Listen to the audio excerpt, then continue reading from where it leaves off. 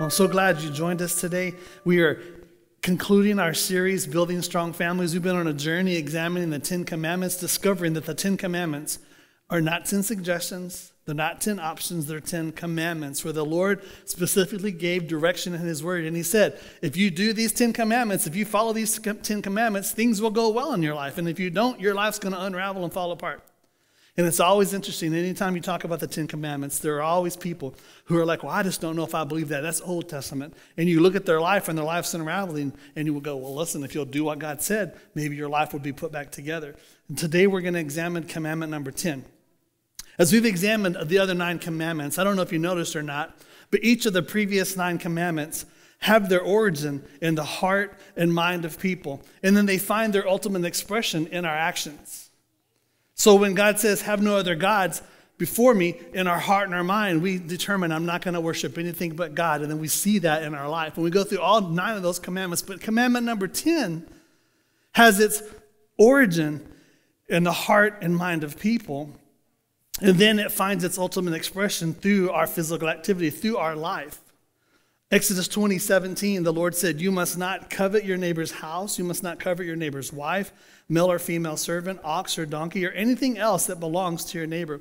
Coveting begins in the heart and mind, and coveting is fulfilled in our heart and our mind. Coveting is an inward sin, it's a sin of the heart, it's a sin of the mind. There may be some this morning that you are guilty of coveting and you don't care. Because there are people who have coveted and have no intention of repenting and confessing their covetousness. Just like in the video, the lady was upset because she got one size can of Coke and everybody else got a larger size can of Coke. And in the video, you saw her at the end of the video, how she was complaining to Jesus, Why do you hold back your best for me? That's what coveting is. Coveting is being mad at God that He didn't bless you like He blessed somebody else. Why can't I have a house like that? Why can't I have a wife like that? Why can't I be rich like that? Why can't I look that good? Why can't I be healthy like that? And on and on we go, and we get mad at God because we think God owes us something. Maybe you're here today and you're guilty of coveting, and you think, well, nobody's going to know. That's true. None of us will ever know, but God knows.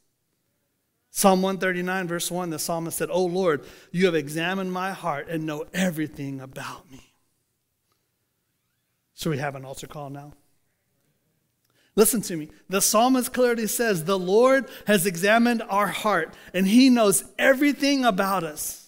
On this journey of building strong families, this journey through the Ten Commandments, no matter what has convicted you, no matter what has pricked your heart, no matter what you've been guilty of, the stuff you're like, well, I'm not going to confess that because nobody knows, but God knows. And as we get to commandment number 10, I need you to ask yourself this question Are you content or are you coveting? Are you content or are you coveting? So, what exactly is coveting? Well, at its root, coveting is a result of envy.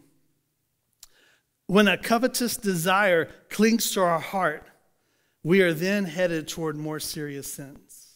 Many times people interchange coveting and envy, but coveting and envy are really two different things. The focus of envy is another person, the focus of coveting is God. To, to covet means to have a strong desire for. Coveting is not just an appreciation of things. It, it's not sinful to notice, hey man, that's a nice car.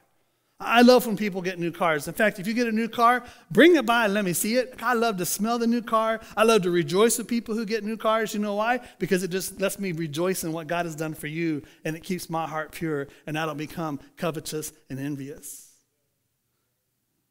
It's okay to say, Man, your wife is beautiful. Man, your husband is very handsome. That's an amazing house God has blessed you with. It's okay to notice these nice things.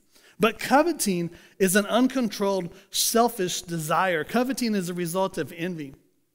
So if you're taking notes, envy is resenting God's goodness to someone else while ignoring God's goodness to me.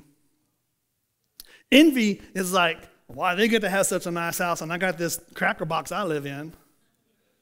When we fail to realize that cracker box you lived in was a blessing from God. Why they get to drive that nice car and I drive this little hoopty car that's paid for and gets, you know, 40 miles to the gallon. Envy, resenting God's goodness to someone else while ignoring God's goodness to me.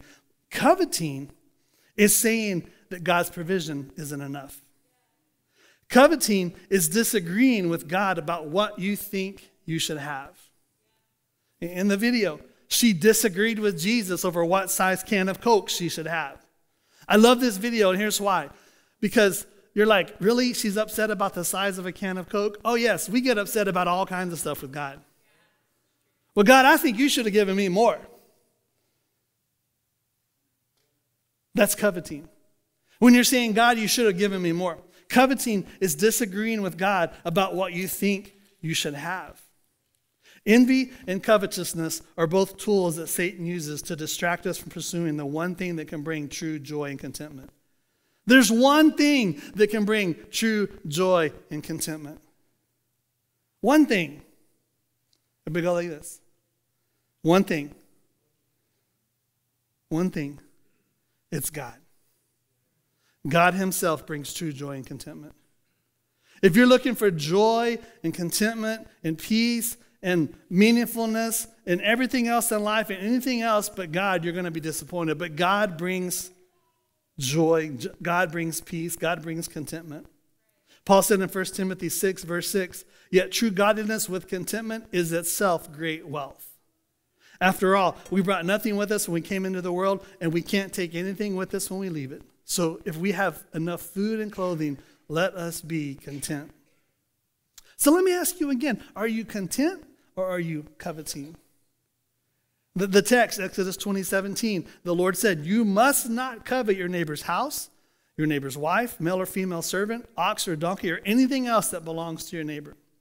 In the Hebrew, the word for covet is the word hamad, and it means to desire, to want, to long for, to thirst or yearn for, to lust after, to take pleasure in, to delight in something. The word covet itself, covetousness, is a neutral word. Coveting can be good and coveting can be bad. Coveting can be, here's a big word, legitimate or illegitimate. Let me show you the difference. See, scripture teaches the idea of legitimate covetousness. And here's what I mean by that God has planted in each one of our hearts certain inalienable desires. We all have the desire for love, for peace, for joy. We all have the desire to be secure, to feel to be successful, to be fulfilled, to be satisfied. We all have those desires. Those are desires that God gave us, and those are desires that only God can fulfill. The psalmist says in Psalm 16:2, I said to the Lord, You are my master. Everything good I have comes from you. Psalm 73, the psalmist said in verse 25, Whom have I in heaven but you? I desire you more than anything on earth. My health may fail and my spirit may grow weak, but God remains the strength of my heart. He is mine forever. This one's not on the screen, but Psalm 27, verse 4, the psalmist said, One thing I have desired of the Lord, one thing I will seek, that I may dwell in the house of the Lord all the days of my life, to behold the beauty of the Lord and to inquire in his temple. See, Scripture teaches us that our greatest desire needs to be God. You're looking for joy, joy's found in Jesus. You're looking for peace, it's found in Jesus. You're looking for happiness, it's found in the Lord. You're looking for success, it's found in being faithful to the Lord. Everything you're looking for is being found in the Lord. James said in James 1:17, "Whatever is good and perfect is a gift coming down to us from God our Father, who created all the lights in the heavens. He never changes or casts a shifting shadow." In Matthew 5 6, Jesus said, Blessed are those who hunger and thirst for righteousness, for they will be filled. What are you desiring? What are you craving? Are you craving the things of God or the things of the world? In 1 Corinthians 12 31, Paul said, We should eagerly desire the greater gifts. In Psalm 19, verse 9, the psalmist said, Reverence for the Lord is pure, lasting forever. The laws of the Lord are true, each one is fair. Look at verse 10. They are more desirable than gold, even the finest gold. They are sweeter than honey, even honey dripping from the comb. They are a warning to your servant, a great reward for those who obey them. When we covet, when we desire the things of God, the things God wants us to desire, this is legitimate coveting. The focus of our desire is God and what He provides. Do you desire God more than anything? Or did you just catch that last part? Well, I desire what God can provide. Listen, you can't receive what God provides if you don't desire God.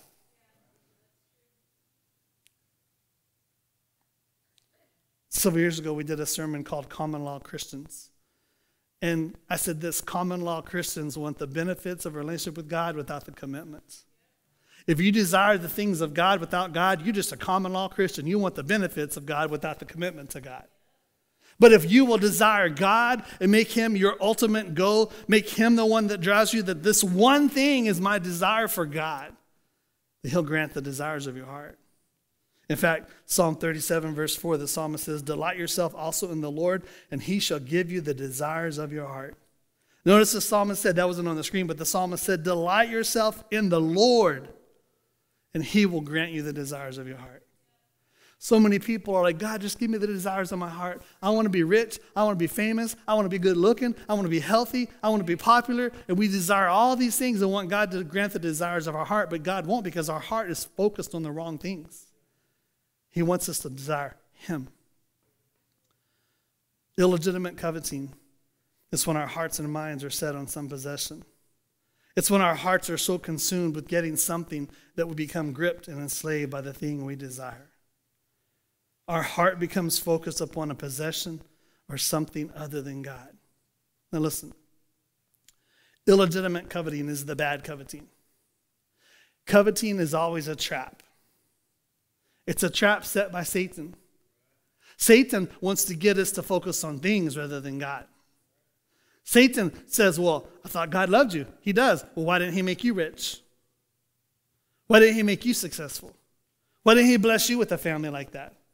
And he, he makes up all this stuff. Well, if God loves you, why didn't He do all this stuff? And in those moments, you got to just say, Shut up, devil.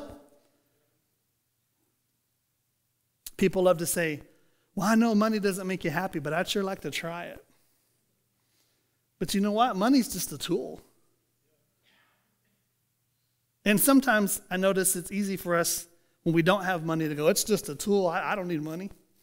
But yet we secretly desire more money. But it's just a tool. But when we make God our desire, when we say, God, I long for you, I desire you more than anything, we begin to notice that God takes care of the necessities in our life. And we find and discover true happiness. I like what, I like what John wrote in 1 John 2 15. He said, Do not love this world, nor the things it offers you. For when you love the world, you do not have the love of the Father in you. Did you see that?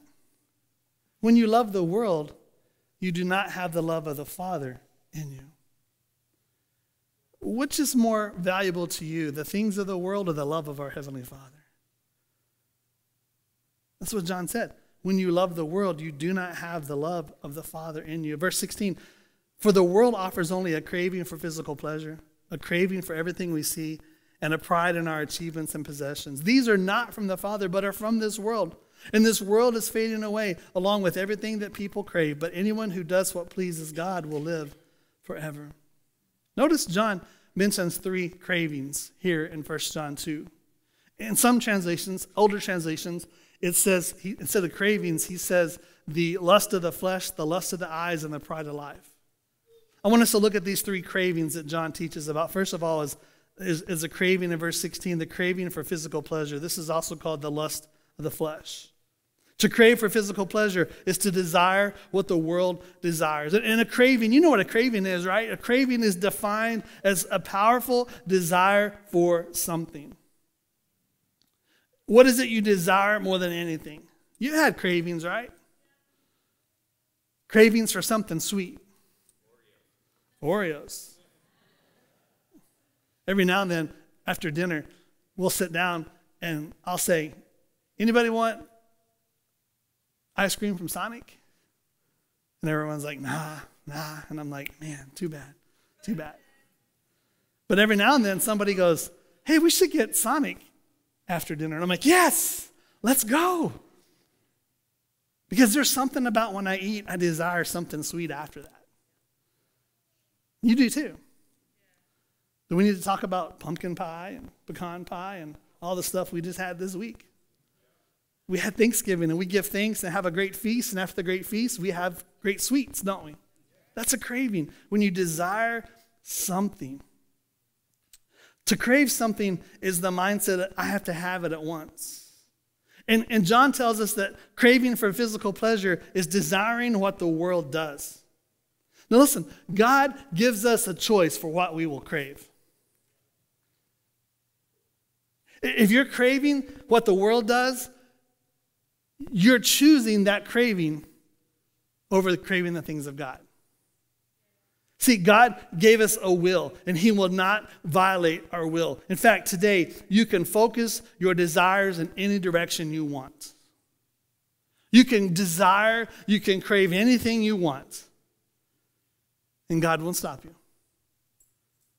He wants you to desire and crave Him, but He can't make us desire and crave Him because that would go against the will that He gave us.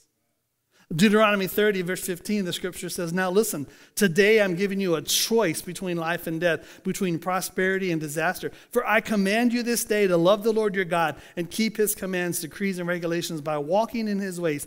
If you do this, you will live and multiply, and the Lord your God will bless you in the land you are about to enter and occupy. Moses is giving these instructions to the people of Israel. Today you get to make a choice.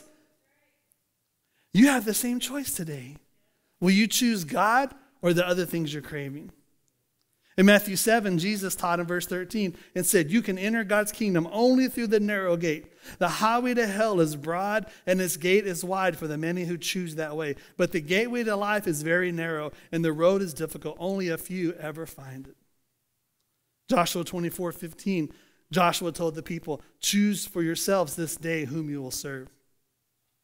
See, God created us to love, and God created us to have desires.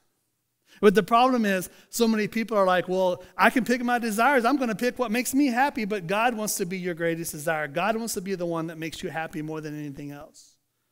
That's why Paul wrote in Philippians, and he said in Philippians 4 8, Now, dear brothers and sisters, one final thing fix your thoughts on what is true and honorable and right and pure and lovely and admirable. Think about things that are excellent and worthy of praise. You can write that verse down. You can memorize that verse. And when you begin to examine your heart, what kind of things do you crave? What kind of things do you desire? The right cravings, the right desires are found in Philippians 4 8. Are they true? Are they honorable? Are they right? Are they pure? Are they lovely? Are they admirable? Are they worthy of praise? If the things you crave are not found in Philippians 4 8, you're craving the wrong things. Romans 13, verse 14, Paul said, Instead, clothe yourself with the presence of the Lord Jesus Christ, and don't let yourself think about ways to indulge your evil desires. Every day, we decide what we will desire and what we will pursue. Craving for physical pleasure is to desire what the world does. The second craving John mentions in verse 16 is craving for everything we see. This is lust of the eyes. To crave for everything we see is to desire what the world offers. This is an overwhelming desire for the accumulation of things. This is materialism at its finest. I got to have more stuff. More stuff's going to make me happy. You've seen the bumper sticker He who dies with the most toys wins. That's what the world says. Get all the toys you have, get all the stuff, and you'll be successful. But that is not success, that's materialism. Like, how many cars does one person really need? How many houses does one person really need? We love to watch House Hunters. And we're always amazed. These people that are buying their second or third home, and it's like $2.5 million. And we're like, what do you do for a living? And are they hiring? Because, I mean, we can afford the house we have, and you're buying a second or third home. Nothing wrong with having second or third homes. But what are you pursuing? What is your greatest desire? You see, these material things, they only provide temporary satisfaction. That's the things of the earth. They provide temporary satisfaction. Remember in the garden when Satan came in the form of a serpent and tempted Eve, and he, and he, and he, he convinced her that what he had to offer, the fruit of the tree, was going to open her eyes and give her everything? Genesis 3 6 said, When the woman saw the fruit of the tree was good for food and pleasing to the eye, and also desirable for gaining wisdom, she took some and ate it. She also gave some to her husband who was with her, and he it. Satan twisted God's word and deceived Eve into sin. He does the same thing in my life and in your life today. He's still twisting God's word and leading us to desire the wrong things. Remember the story of Achan in Joshua 7? In Joshua 6, God delivered Jericho to Israel. And God made a statement. He said, Everything in the city is consecrated. Everything is set apart. Everything is holy. It's mine. And He's like, Don't touch my stuff. Don't take my stuff. But Joshua 7 tells us that Achan, as he was going through Jericho and God was fighting a battle, he began to desire some things that were the Lord's. And when Achan's sin was exposed in verse 20 of Joshua 7, look what it said. Achan replied, It's true. I have sinned against the Lord, the God of Israel. This is what I have done. When I saw the plunder and the plunder a beautiful robe from Babylonia, when I saw 200 shekels of silver and I saw a bar of gold weighing 50 shekels, I coveted them and took them. They are hidden in the ground inside my tent with the silver underneath. Achan basically said, I wanted these things so much that I took them. Was it wrong for him to notice those things? No. He should have said, Man, God's getting a blessing today. Look at that gold. Look at that robe. Look at that silver. The kingdom of God is going to be heavily invested in today. But instead, he said, You know, I could use those. See, the, the root of materialism is insecurity, and Achan felt insecure without those things. The root of materialism is saying, You know what? I need to look better than the Joneses. No offense if your name is Jones. Have you noticed that we are always trying to impress people by getting more stuff. And we buy things we don't need with money we don't have to impress people we don't even really know or don't even like. That's materialism. See, money will not buy happiness. Things will not buy happiness. Happiness only comes from delighting in the Lord. Jesus taught in Matthew 6:33, "Seek the kingdom of God above all else and live righteously, and he will give you everything you need." Do you delight in the Lord, or are you pursuing and desiring other things? The third craving that John mentions, he talks about pride in our achievements and possessions. Pride in our achievements and possessions is to desire the world's approval it's the pride of life. Verse 16 For the world offers only a craving for physical pleasure, a craving for everything we see, and pride in our achievements and possessions. This is the person who wants to be noticed. And if I only had this position, I could be important. I want to be noticed. So many times we, we decide that happiness is a destination, but, but happiness isn't a destination. Happiness is being content in the Lord. Happiness is like, you know what? God is mine and I am his. No matter where I am, I got the Lord. There's a song was going through my head this morning. It said, Lord, you are more precious than silver, more costly than gold. Lord, there's nothing I desire more than you. There was another song that said, You can't take God away from me. You can take my life, my land, my liberty. You can take God away from me, but I'm still going to be free because you can't take God from me. When God is your greatest delight, when God's your greatest desire, nothing else is going to matter. Proverbs 16, 18 says, Pride goes before destruction, a haughty spirit before a fall. When you're filled with pride, when you're doing things to make yourself look better, that's really a covetous spirit. You're doing things to impress and please people. When we get to heaven, God's not going to ask how many people were impressed with you. God's not going to ask how many cars did you have. Was it fast? Was it cool? He's not going to ask, what, how much money did you make? He's going to say, What was your greatest desire? Was it me? What'd you do with my son? I gave my son for you. Did you receive my son and make him your greatest desire? I love what Paul teaches in 1 Corinthians 10 31. He says, So whether you eat or drink or whatever you do, do it all for the glory of God. Why do you do what you do? Is it for God's glory? Why do you work so hard? Is it for God's glory? Why are you accumulating the wealth you're accumulating? Is it for God's glory? Why do you pursue success? Is it for God's glory? Why do you do what you do? So, John shows us these three cravings. So, how do we overcome these cravings, these fleshly cravings? There's two ways. First of all, knowing and using God's word is the only effective offensive weapon against coveting. You've got to know God's word. And you got to use God's word. Don't raise your hand, but how many of you know God's word? It's one thing to know his word, it's a completely other thing to use his word. Know his word and use his word.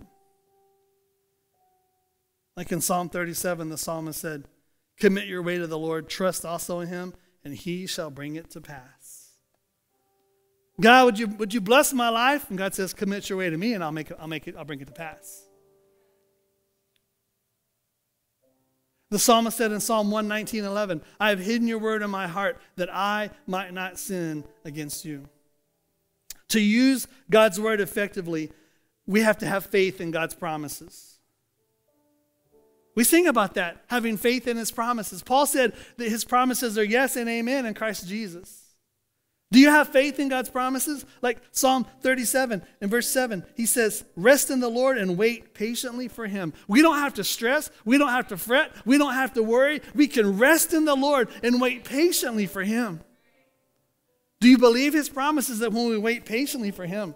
You know what Isaiah said? Those who wait upon the Lord shall renew their strength. You're tired, you're weary, you're worn out, the holidays already got you frazzled. How about just be still and wait on the Lord and be made strong in Him? How about where the psalmist said, Be still and know that He is God? Do you trust the promises of God's word?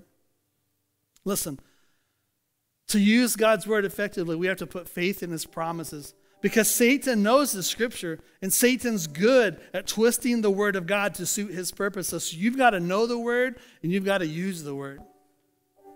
There's one more thing we can do to overcome these fleshly cravings. We, we must know the word and use the word, but secondly, we must crave the things of God more than the things of the world. Crave the things of God more than the things of the world. Listen to me. I'm not saying success is wrong. I'm not saying money is wrong. I'm not saying desiring achievements is wrong. But God should be your greatest desire over all those things. In Galatians 5:16, Paul said, So I say, let the Holy Spirit guide your lives. Then you won't be doing what your sinful nature craves. See, when we crave the things of the world, that's illegitimate coveting. And the sin of coveting is destructive.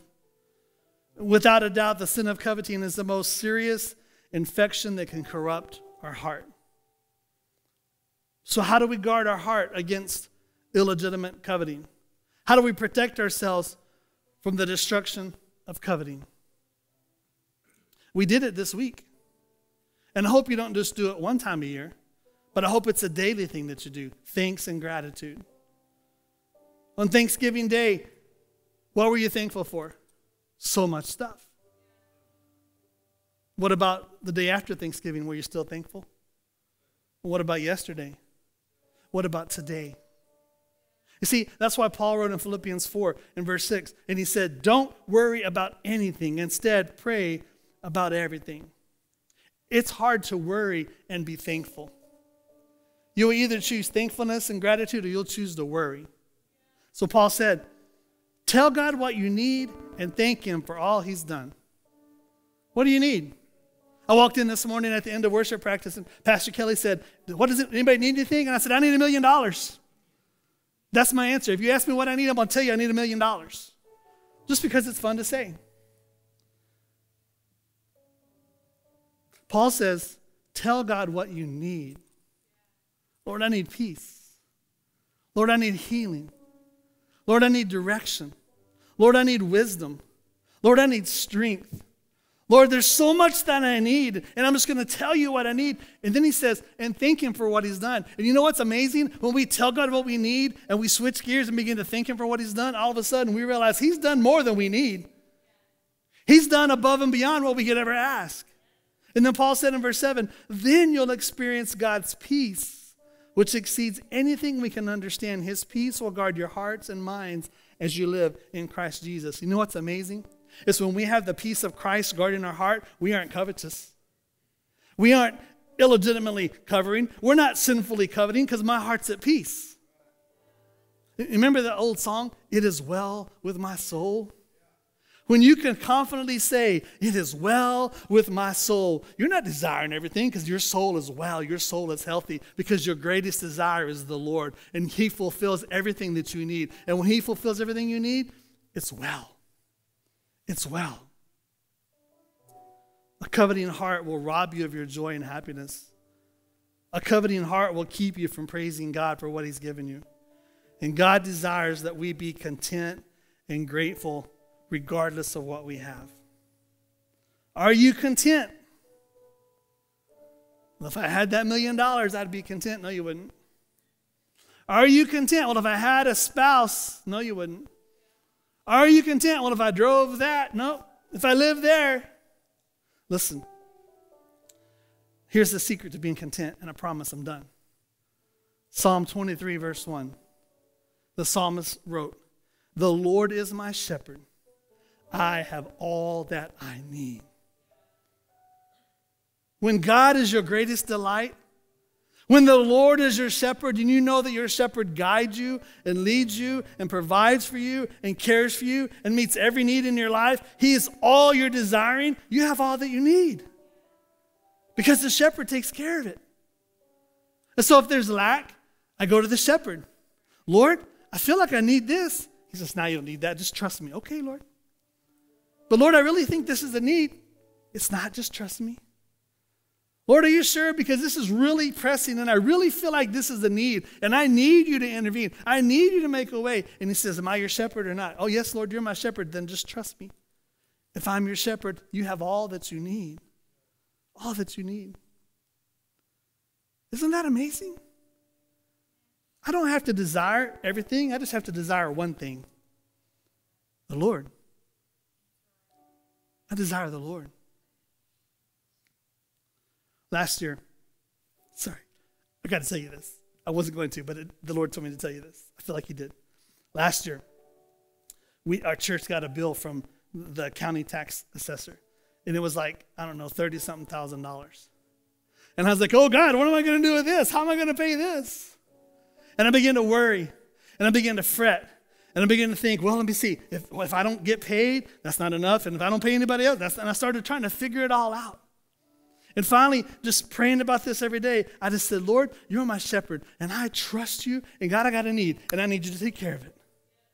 And I set it away, and I went on.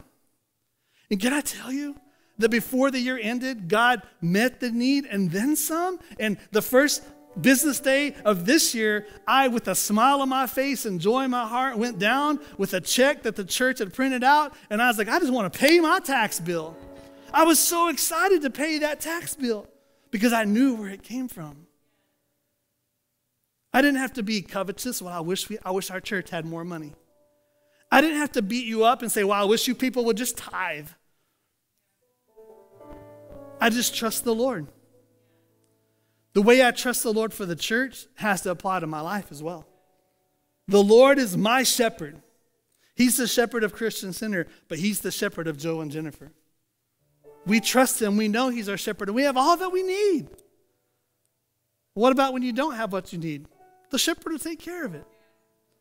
And until He takes care of it, my responsibility is just thanks and gratitude. Lord, thank you for all that you've done. God, I praise you for how good you've been. All my life, you have been faithful. All my life, you've been so good to me. And I want to thank you for how good you've been. Amen? Let's pray today. God, thank you today. God, you're so good. You're so faithful. You're so trustworthy. Thank you for giving us these 10 commandments. Thank you that they aren't 10 suggestions, they're commandments. You gave us biblical principles to build our life upon. And if we will follow these 10 commandments, we will build strong, healthy men and women, and we'll, we'll be strong individuals, and we'll have strong families. Holy Spirit, I thank you today how you've been moving throughout our, our service this morning, up and down the rows, up and down the aisles. You've been touching hearts, and maybe there are some here today that the truth of the matter is they've been desiring stuff. They've been desiring things of the world more than the desiring God. Maybe they're here this morning, and when I said, what's, what's the one thing you desire? Something else came to mind, and it wasn't God. And they're guilty of illegitimate coveting.